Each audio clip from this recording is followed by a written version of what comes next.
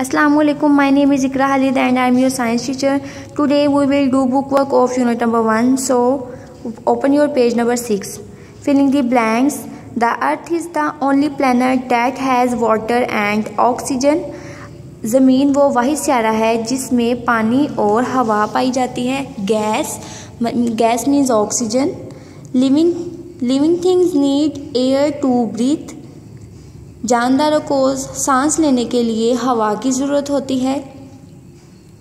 Next है fish breathe with their gills मछली अपने गिल्स के थ्रू सांस लेती है।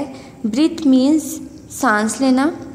Next animals living on land वो जानवर जो ज़मीन पर रहते हैं ब्रीथ विद देयर लंग्स वो अपने फेफड़ों के ज़रिए सांस लेते हैं।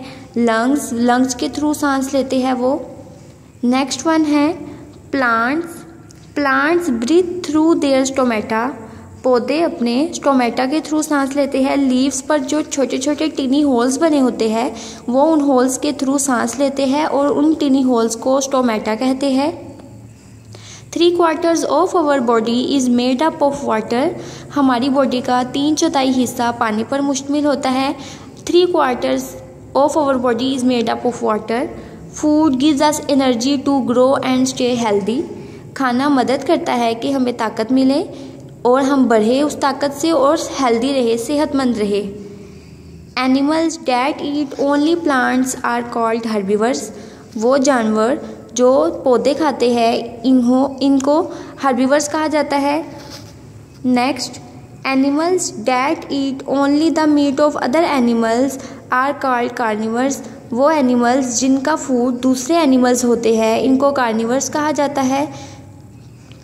नेक्स्ट वन है animals that eat both plants and animals are called omnivores वो जानवर जिनकी खुराक पौधे भी होते हैं और एनिमल्स भी होते हैं।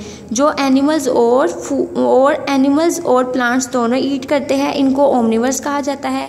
अब हम अपनी एक्टिविटी करेंगे।